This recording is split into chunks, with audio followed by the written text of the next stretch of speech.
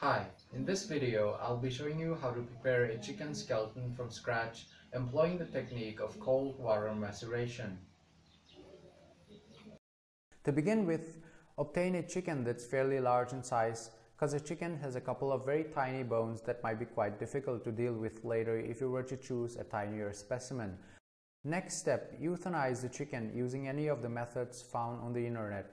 Once the chicken's dead, dip it in hot water for about 5 minutes and start plucking off the feathers from the body. Cut open the chicken in the abdominal area, remove the internal organs, and using a sharp knife or scalpel, proceed with removing as much flesh as possible, making sure at the same time that no bone is broken or accidentally cut. You will end up with something like this. The more flesh is removed, the lesser time it will take for maceration to complete, and also the lesser will be the smell. Next step, transfer the defleshed chicken into several opaque containers having a lid and pour fresh water into them to completely submerge the chicken parts. It's advisable that you divide the body of the chicken into several parts such as left wing, right wing, left leg, right leg, etc. which I didn't do as you can see here. And this was a mistake I made. I call it a mistake because later when I proceeded to arrange the bones for articulation, I wasted a considerable amount of time deciding which bone is which. This was made even worse by the lack of proper reference books and materials specifically on chicken bone articulation. Also, do not use a transparent container like I used here. Again, a mistake on my part. You will see later in the video why you should use a opaque container and not a transparent one. Having said all that, it's now time to let nature take its course. Leave the containers for about 2 to 4 weeks in a shady, undisturbed area away from humans and animals such as pets. And here's the third mistake I made. I left the containers exposed to sunlight and these had some nasty consequences on the bones which you will see later in the video. The amount of time it will take for maceration to complete will depend on the prevailing climate in your area. The warmer the climate, the shorter time it will take. Change the water every 2 to 3 days during the maceration period. When changing the water, keep in mind though that some of the very tiny bones may float on the surface along with the pieces of fat and flesh, so take precautions accordingly, such as using a sieve to filter the floating particles when draining the water. I wasn't careful enough in this and so I ended up losing a couple of tiny bones. At the end of the maceration period, this is what you'd get. And as you can see, the bones in the transparent container exposed to sunlight have a reddish coloration which is not a good thing. Next step, proceed with the degreasing process. This step is necessary to remove the grease and fat that's left in the bones. I used a mixture of 50% ammonium hydroxide and a dishwashing liquid soap for this purpose. Ammonium hydroxide alone would be the preferred choice, but I didn't have sufficient ammonia at that time, so I had to use a dish soap along with the ammonia. You can also use dish soap alone. In the United States, there's Dawn, and if you're in India, there's Vim Drops. You can use any liquid dish soap that's locally available in your area though. That being said, immerse the bones in the degreasing liquid for about a week. After a week, carefully drain off the degreasing liquid and rinse the bones thoroughly with fresh water 5 to 6 times. These are the bones after a week of degreasing, and here's a comparison of the bones before and after the degreasing process. At this stage, you may remove any adipocere sticking to the bones using a soft brush and water. Adipocere, aka corpse wax, is a whitish waxy insoluble substance formed by the decomposition of soft tissues in dead bodies subjected to moisture. It usually stays even after the degreasing process and therefore has to be manually removed.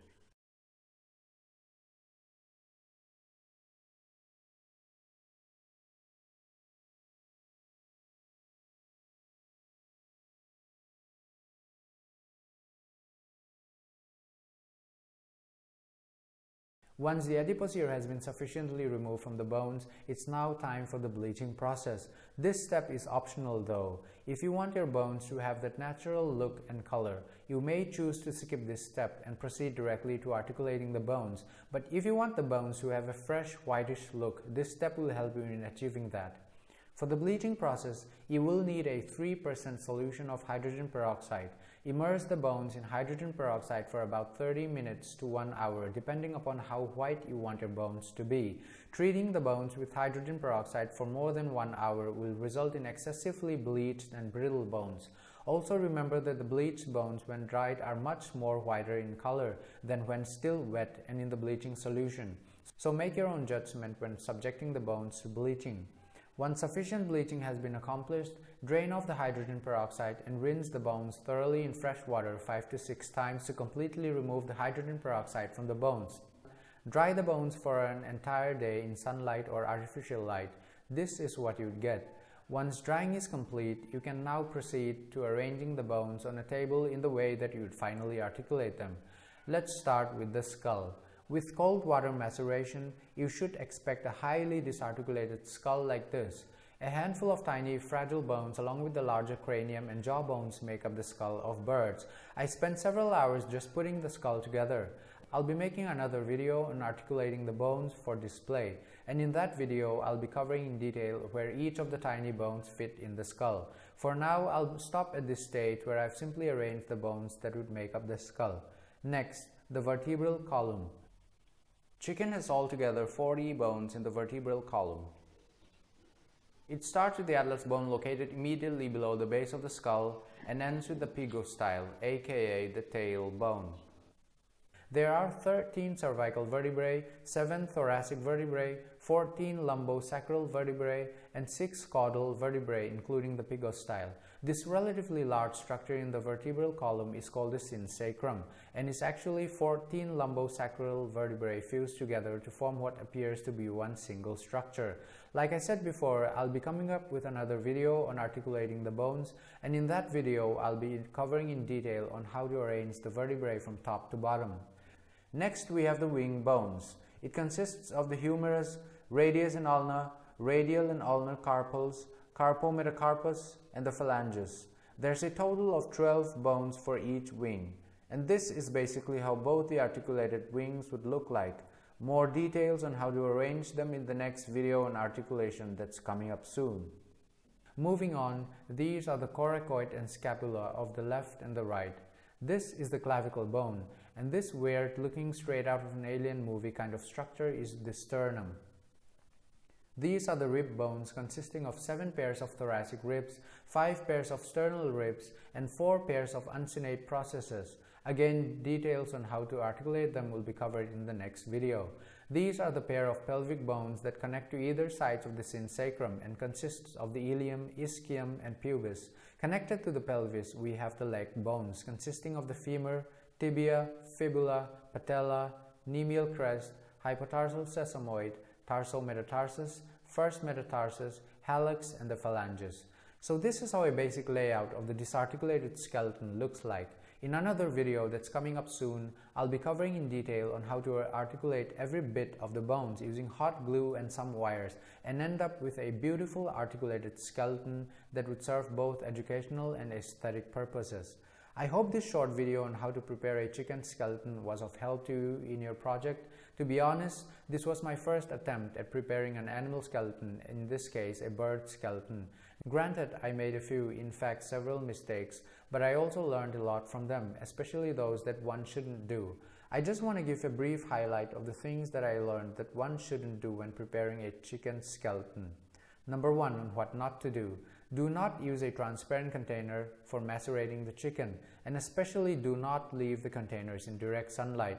I made this grave mistake with one of the containers and I ended up with bones that had a reddish coloration which was quite difficult to completely remove with the degreasing process and even the bleaching process. My guess is that sunlight triggered some sort of organic reaction to occur within the bones which resulted in the coloration. The ones that I kept in the stainless steel container came out just fine though and almost didn't have such a coloration on them.